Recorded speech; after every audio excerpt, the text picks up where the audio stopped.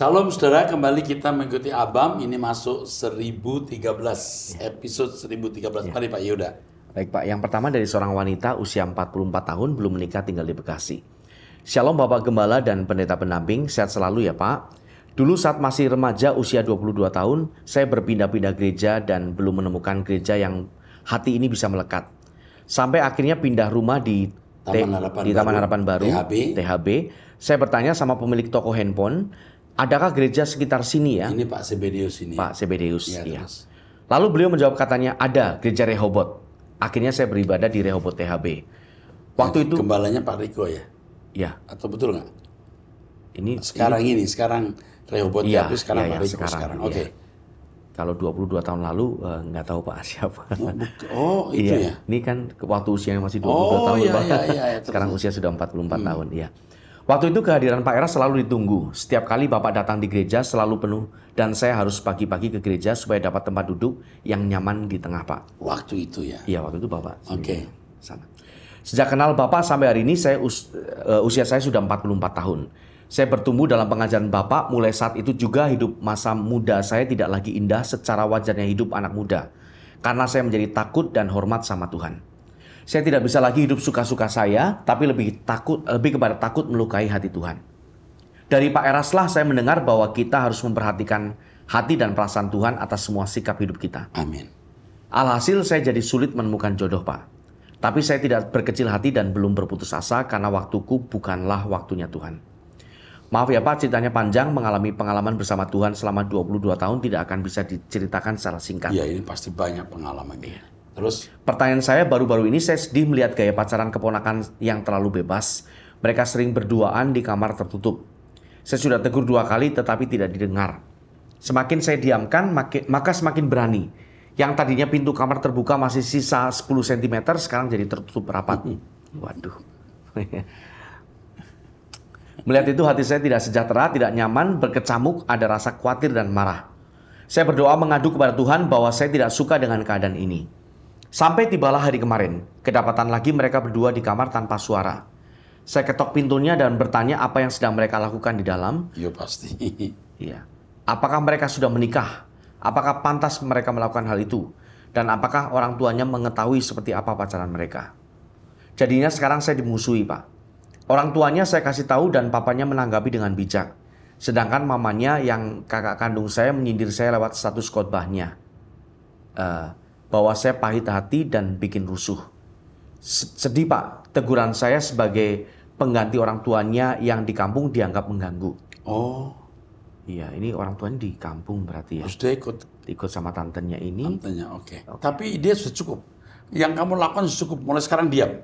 Kamu sudah tegur, kamu sudah ingatkan dia, Ya. dan sudah kasih tahu Iya, orang tuanya. iya, sudah. Oke, ada. cukup. Dia ikut siapa ini?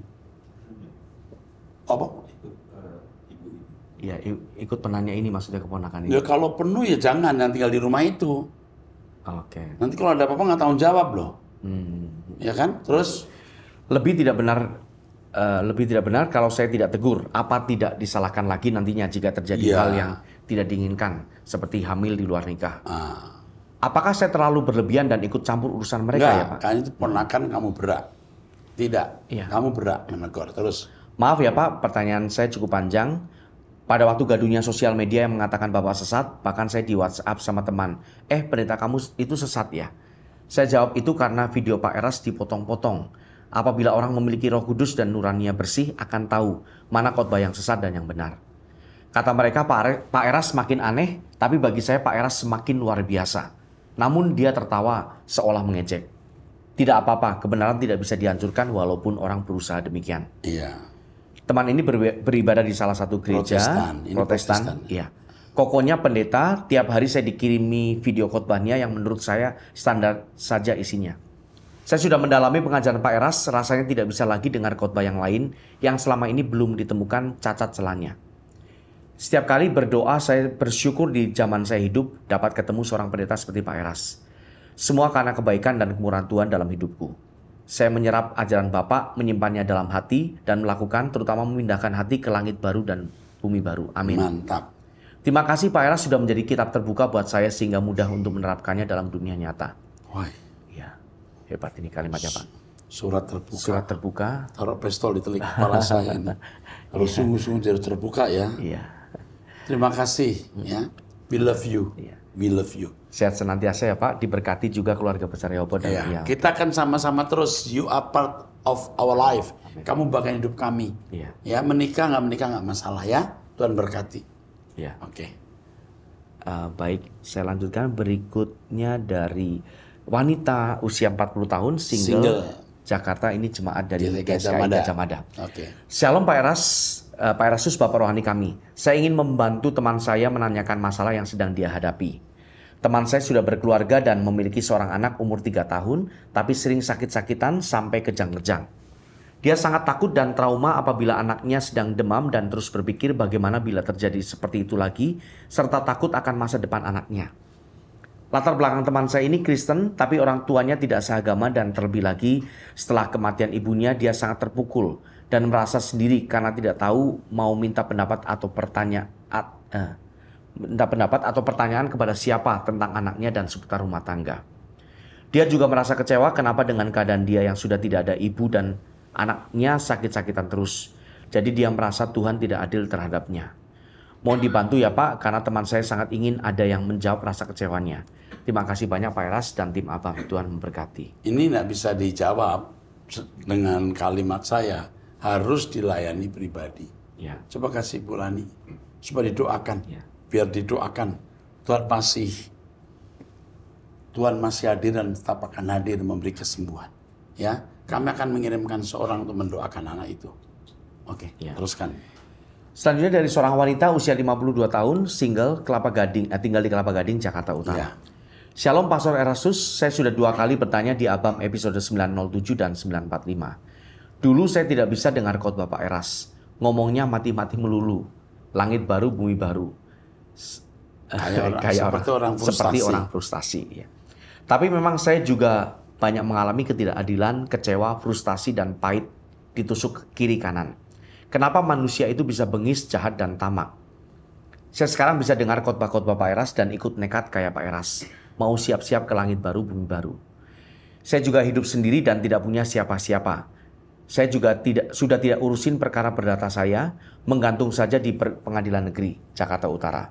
Karena memang saya sudah tidak ada dana untuk beresin perkara ini sampai lelang. Uang tabungan saya sudah habis 320 juta, diminta tiga lawyer, dua Kristen yang awal-awalnya seperti malaikat. Aduh, Ya biasa law- lawyer. Tidak semuanya baik. Terus Dulu iman saya sangat rapuh karena saya belum bertumbuh. Tapi karena kepepet seperti Pak Eras, ya saya jadi gila-gilaan mau nekat hidup yang berkenan jadi kekasih Tuhan saja. Saya juga sudah mengampuni adik-adik saya karena memang pola didik orang tua saya materialisme dan okultisme. Tapi yang ba- banyak bikin saya kecewa itu lawyer lawyer lawyer yang ngaku-ngaku anak angkat pendeta, sepupu pendeta, ujung-ujungnya juga cuman meres dan mengintimidasi saya. aduh.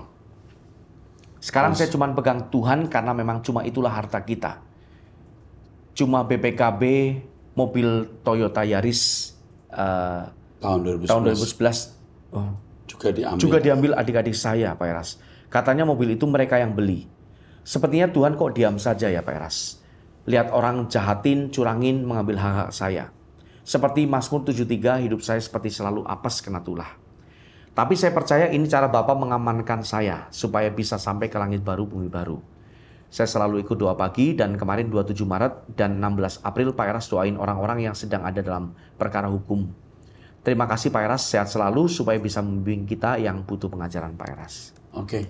Nah, coba ditelepon kalau dia masih membutuhkan lawyer karena dia sering ditipu mungkin atau dikecewakan lawyer, kita bantu ya. Kita bantu volunteer ya. Kasihan ibu ini, usia 52 tahun. Iya Pak. Tapi nggak disebut dia punya istri, suami atau anak ya. Dia single Pak. Single, oh single. Iya, hidup Tolong sendiri. dilindungi deh. Saya punya feeling naluri dia masih bisa ditolong. Ya, Iya. masih bisa. Ya, tolong. Oke. Teruskan. Ya, baik saya lanjutkan Pak. Yang berikutnya dari seorang pria 23 tahun, single tinggal di Surabaya. Ah, shalom Pak Eras, terima kasih sudah menjawab pertanyaan saya di Abam pada sesi-sesi sebelumnya. Sebelum berjemaat di GSKI Rehoboth Sur- Surabaya, saya bergereja di satu gereja karismatik yang besar. ya yang besar. Dan saat itu Pak Eras berkhotbah mengenai realitas perjanjian lama dan perjanjian baru. Ketika mendengar khotbah itu, saya merasa seperti apa yang saya pertanyakan selama ini terjawab. Mengapa di perjanjian lama Allah banyak memberikan berkat jasmani, sedangkan di perjanjian baru justru lebih banyak pengikut Tuhan yang menderita? Ternyata Allah perlu melindungi bangsa Israel supaya melalui bangsa Israel tidak punah seperti bangsa-bangsa lain dan Mesias bisa lahir melalui bangsa tersebut. Sedangkan fokus di perjanjian baru sudah bukan lagi berkat jasmani tetapi rohani atau keselamatan kekal. Yang saya mau tanyakan Pak, saat khotbah itu seingat saya Pak Eras ada bilang bahwa firman Tuhan 100% objektif. Sedangkan khotbah manusia bisa saja bersifat subjektif. Namun apabila khotbah itu sesuai dengan kebenaran firman Tuhan, subjektivitasnya mendekati keobjektifan firman Tuhan. Jelas ya. Iya jelas. Terus Pak. Apakah yang saya ingat ini benar ya Pak? Atau saya yang mungkin salah menangkap apa yang Bapak sampaikan? benar. Nah, Itu benar. 100% firman Tuhan 100% objektif, benar. Tapi yang mengkhotbahkan subjektif. bisa subjektif. Tapi kalau dia belajar firman dengan benar dipimpin Roh Kudus mendekati 100% Ya. objektivitasnya. Oke. Karena menurut saya mungkin memang dalam penyampaian firman Tuhan setiap pengkhotbah punya style atau pandangan tersendiri. Namun apabila tunduk pada firman Tuhan, apa yang disampaikan menjadi sama-sama benar. Ya tapi nggak se- nggak semua pendeta tunduk kan masalahnya. Iya Pak. Itu masalahnya. Nggak semua pendeta tunduk. Oke. Ya, terima Teruskan. kasih Pak Tuhan berkati. Oke. Berikut, Jelas. ya. Teruskan. Berikutnya dari seorang wanita usia 43 tahun, janda. Tadi dari GSKI juga kalau salah ya. Iya, ini jemaat GSKI Rehoboth Surabaya, Pak. Oh iya ya, oke terus. Sebelumnya, Oke, uh, terjemahan siap. gereja lain, Bagus. Yang eh, pertanyaan ini dari seorang wanita usia 43 tahun, Janda cerai. janda cerai hidup. Ya. GSKI juga ini. Ini jemaat GSKI, ya. Shalom Pak Eras dan Bapak pendamping, saya jemaat GSKI. Saya mau bertanya, Pak, apakah tindakan saya sudah benar atau belum? Saya punya anak laki-laki 18 tahun yang akan kuliah, tetapi mantan suami saya berkata jangan dikuliahkan dulu karena dia tidak bisa bantu soal keuangan. Oh, suaminya tidak bisa Ya, membantu tahu, soal oke. keuangan. Saya sudah pisah dengan suami sejak anak saya usia 4 tahun. Dikarenakan suami selingkuh dengan wanita yang kaya dalam segi keuangan, walaupun wanita itu lebih tua. Saya tetap memilih tidak menikah karena fokus bekerja, membesarkan anak, dan berusaha hidup benar dan berkenan di hadapan Tuhan. Mantan suami tetap memberi uang tiap bulan sejumlah 2 juta, selebihnya saya mencari penghasilan sendiri sebagai karyawan swasta dan mencukupkan semuanya sendiri. Puji Tuhan saya dan anak selalu dipelihara Tuhan dan sekarang anak saya mau kuliah. Saya tetap menguliahkan anak saya walaupun saya harus tanggung sendiri biayanya. Karena saya yakin saya bisa. Walaupun mantan suami tidak memberi bantuan lagi, saya hanya diam saja dan tidak mau berdebat, Pak. Saya tetap mas- memasukkan anak saya kuliah. Apakah tindakan saya sudah benar, Pak? Benar. Ya. Sangat benar. Karena sudah kalau sudah tidak sekolah setahun dia nanti malas, malah nggak mau kuliah. Ya. Usahakan sampai dia kuliah. Oke, Ya. teruskan. Berikutnya dari seorang pria usia 58 tahun, menikah, memiliki empat orang anak, tinggal di Malang, Jawa Timur, jemaat Rehoboth Online. Ya. Shalom Pak Eras, saya mempunyai empat orang anak, saat ini dua orang ada di luar negeri dan dua lagi masih kuliah. Kami tinggal di Batu Malang, Jawa Timur. Terima kasih atas impartasi rohani Bapak, sehingga saya saat ini sedang dalam perjalanan balik dari jalan lama duniawi saya. Seandainya tidak mengenal suara kebenaran, dapat dipastikan saya jadi manusia yang jahat dan bejat. Saat semua hidup berjalan normal, semua bisa saya dapatkan. Namun Tuhan membuat saya jadi bangkrut dan tidak memiliki apa-apa lagi sampai saya pindah ke kota sekarang ini dan saya memulai segalanya dari nol. Ya. Sejak lama saya mengikuti pengajaran mengembangkan firman hidup mati dikuasai lidah. Siapa suka mengembangkannya akan memakan buahnya. Jadi saya mengembangkan apa yang saya imani. Pengakuan firman menjadi hafalan sepanjang hidup saya, termasuk mengajarkan ke anak-anak saya mengembangkan firman Tuhan siang dan malam. Namun sekarang saat anak saya yang laki-laki sudah dewasa dan saat ini berpacaran dengan gadis yang tidak seiman, hati saya jadi sedih sekali. Saya merasa gagal mendidik dan menanamkan iman Kristen sesuai saran Bapak. Oh, iman Kristen. Sesuai saran Bapak, saya tidak berbicara kasar dan keras sama anak saya. Saya sedang belajar sabar, belajar banyak diam, tidak bereaksi lebih saat menghadapi masalah. Namun anak saya masih belum bisa menerima masukan Ya, saya. tapi jangan menunjukkan sikap setuju. Hmm. Oke. Pertanyaan saya, apakah saya boleh dan benar jika mengatakan bahwa saya tidak akan memberi restu pada anak saya kalau tetap menikah dengan gadis pilihannya yang beda agama tersebut? Betul, katakan tidak memberi restu. Terus Apakah keputusan saya ini berkenan kepada Allah tidak menyakiti hati anak saya? menyakiti tapi lebih baik tidak menyakiti Tuhan daripada Ya. lebih baik tidak menyakiti Tuhan. Ya, Betul nggak? Betul, Pak. Terus lebih baik menyakiti hati manusia daripada menyakiti Tuhan. Hmm. Amin. Terus Namun masih ada satu hal yang sedang saya perjuangkan saat ini yaitu hidup benar, hidup kudus agar Allah membantu saya menyadarkan anak saya tersebut sehingga tidak meneruskan ke jenjang pernikahan kelak. ya ini diperjuangkan. Oke. Mohon saran Bapak, terima kasih Pak Eras sudah membantu saya bisa kembali ke jalan yang Tuhan Allah berikan pada saya yang percaya kepadanya. Jadi kau perjuangkan dulu, Pak. Pokoknya tidak setuju lalu kita berdoa. Oke. Ya. Mohon maaf saya mau menambahkan dalam pertanyaan saya, saya akan mengatakan dengan tegas pada anak saya, kalau sampai mereka tetap menikah, saya tidak merestui dan saya tidak akan hadir di pernikahan mereka. Apakah keputusan, keputusan saya ini berkenan kepada Allah? Jangan sampai itu, jangan sampai dikatakan tidak hadir. Itu jangan sampai di situ dulu. Iya, Cukup saya tidak, Tidak merestui. merestui. titik. Soal nanti bagaimana kita lihat. iya, Bisa saja nanti pernikahan bukan di agama A, bukan di agama B, Iya. tapi setan sipil saja atau bagaimana. Jangan berkata, saya nggak akan hadir. Kalimat itu nggak usah diucapkan dulu. iya. Oke? Nanti perkembangannya beritahu ke kami, kami akan berikan jawaban lagi. Oke, teruskan.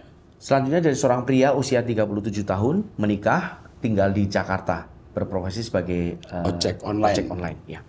Shalom Bapak Erasus Sabdono, terima kasih untuk segala teladan dan integritas Bapak. Saya mau bertanya Pak, saya sebagai kerja sebagai ojol, ojek online, karena harus gantian dengan istri jaga anak. Setiap hari saya mendengarkan khotbah Bapak dari kendaraan motor sambil menunggu orderan. Semua program truth.id tidak ada yang terlewatkan. Suatu kali saya di lagi di pinggir jalan melihat orang dan kendaraan lalu lalang. Ada suara di hati berkata, semua manusia tenggelam dengan aktivitasnya, tidak banyak yang ingat akan Tuhan. Benar. Terus, Lalu dalam hati berkata, ah ini mah karena sering dengar kalimat ini di khotbah Pak Eras. enggak, roh kudus bisa ingatkan. Terus, Kemudian berikutnya saya mampir ke depan mall, banyak orang yang masuk dan suara yang tadi muncul begitu lagi. Saya berdebat sendiri di pikiran ini mah karena pengaruh khotbah. Lalu suara hati itu berkata, ingat peristiwa Nuh. Batra yang sebesar lapangan bola itu dibuat bukan hanya untuk binatang dan 120 tahun kesempatan untuk orang bertobat. Eh, tidak ada yang merespon.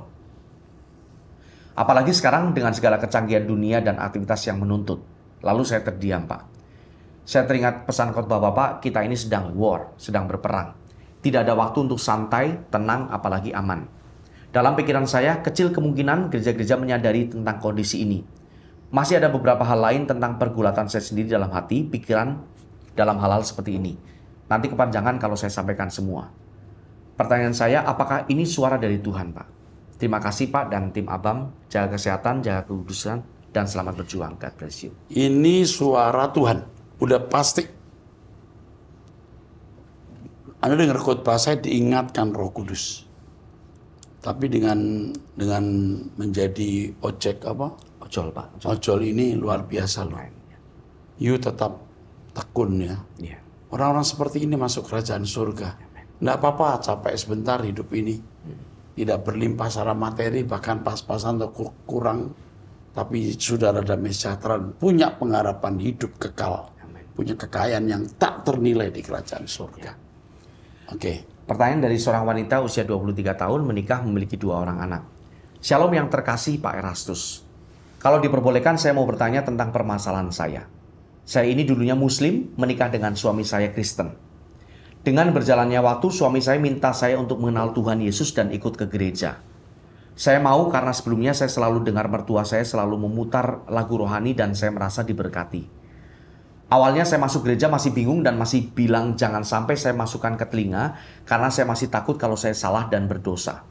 Tapi semakin saya jauhi justru sebaliknya saya semakin dekat dan mulai nyaman. Masalahnya sekarang saya menghadapi orang tua yang sejak awal tidak setuju dan suami sudah hmm, bertanggung jawab atas itu. Lanjut berjalannya waktu, mama saya memaksa saya untuk direjakne istilah Jawa. Katanya ini pesan terakhirnya. Takutnya saya menyesal. Direjakne, Pak. Saya baru pernah tahu, Pak. Rejakne. ya. Suami saya tidak mau karena saya dipengaruhi mama saya. Saya jadi memberontak suami saya dan mungkin menyakiti suami saya. Saya tidak sadar dan saya mengakui itu, saya banyak salah dan suami saya katanya sudah lelah dengan omongan saya. Pernikahan kami jalan tujuh tahun, saya mengenal dalam Kristen bahwa pernikahan yang sudah dipersatukan Allah tidak bisa dipisahkan manusia. Saya berusaha apa pun cobaannya saya hadapi sampai sekarang. Saya berada di titik terendah. Saya kehilangan arah.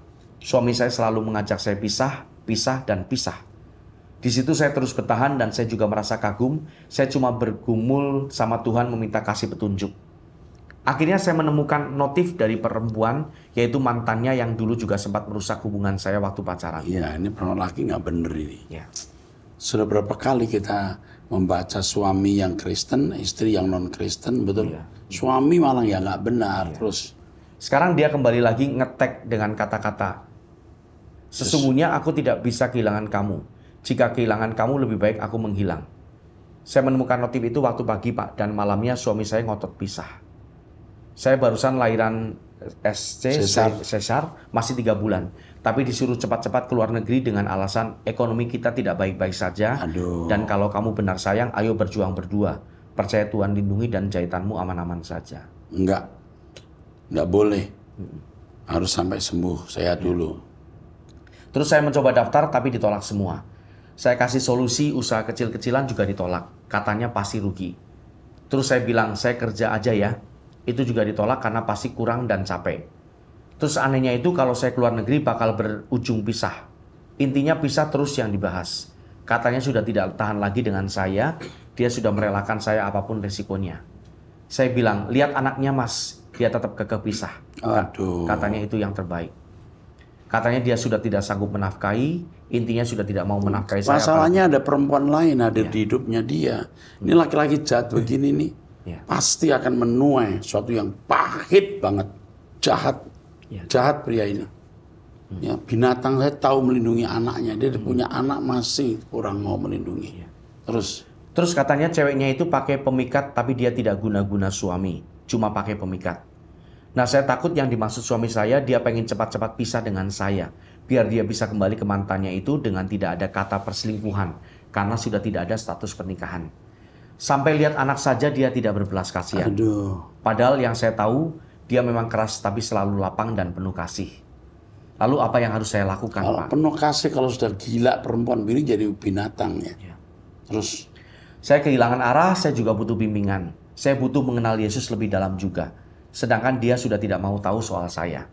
Saya mau bekerja, ibaratnya bisa buat bantu-bantu sedikit, tapi saya selalu dilarang. sebentar, oke. Iya. Ini ini Oh, bingung dia mau melakukan apa ya. iya. Ini kita arahkan ke si eh, konselor aja. Iya. Nah, kita harus lindungi wanita ini. Kamu akan dibimbing, nak. Iya. Saya nggak bisa jawab. Hanya beberapa menit malah salah. Iya. Tapi Tuhan akan lindungi kamu. Ya, Hmm. kita taruh seorang konselor yang bagus ya, melindungi dia. Terus, Pertanyaan selanjutnya dari seorang wanita usia 44 tahun, menikah memiliki dua orang anak tinggal di Jakarta Utara. Shalom, bolehkah saya bertanya Pak? Saya seorang istri menikah lagi dengan suami yang kedua. Dari pernikahan ini kami tidak punya anak, sering kali kami cekcok sampai waktu itu dia pergi dari rumah sejak tahun 2021 hingga sekarang. Dua tahun dia tidak pulang. Saya menggugat cerai dia tanpa dia tahu karena saya tidak tahu dia di mana. Sebelum bercerai ada seorang laki-laki, dia mantan saya waktu sekolah. Kami sempat affair, dia masih beristri pak. Dia membantu saya membiayai renovasi rumah saya yang ditinggalkan dari almarhum suami saya yang pertama. Saat ini rumah itu saya kontrakin untuk biaya hidup saya dan anak-anak dari suami yang pertama pak. Saya sering mendengar khotbah kalau Allah tidak berhutang, anak cucu kita akan diberkati. Lalu saya teringat kalau saya berhutang sama mantan saya itu. Saat ini kami sudah tidak berhubungan atau kontekan lagi. Saya mau tanya apa yang mesti saya lakukan, Pak? Dia membantu saya dan tidak minta uang kembali, tapi setelah mendengar firman, hati saya merasa tidak damai. Terima kasih itu saja yang mau saya tanyakan. kamu nggak bisa mulangin juga kan saat ini, ya kan? Ya sudah, kamu sementara jalani saja. Jangan berhubungan dengan pria mana pun. Ya. Yang kamu lakukan cari uang untuk anak-anakmu sekarang. Soal rumah diperbaiki, kamu nggak usah merasa berhutang. Kecuali nanti kalau punya duit, kamu bisa kembalikan. Ya, ya itu itu begitu saja. Ya.